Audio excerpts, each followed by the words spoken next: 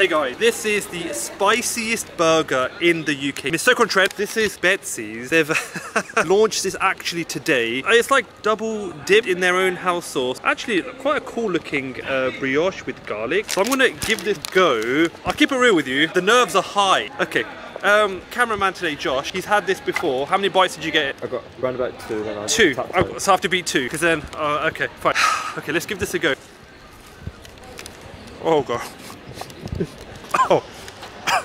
The coffin starts there. oh, okay. Two more bites, bro. Okay, you know what the mad thing is, right? It actually tastes good. It's very spicy. I like the garlic on top. It's very spicy.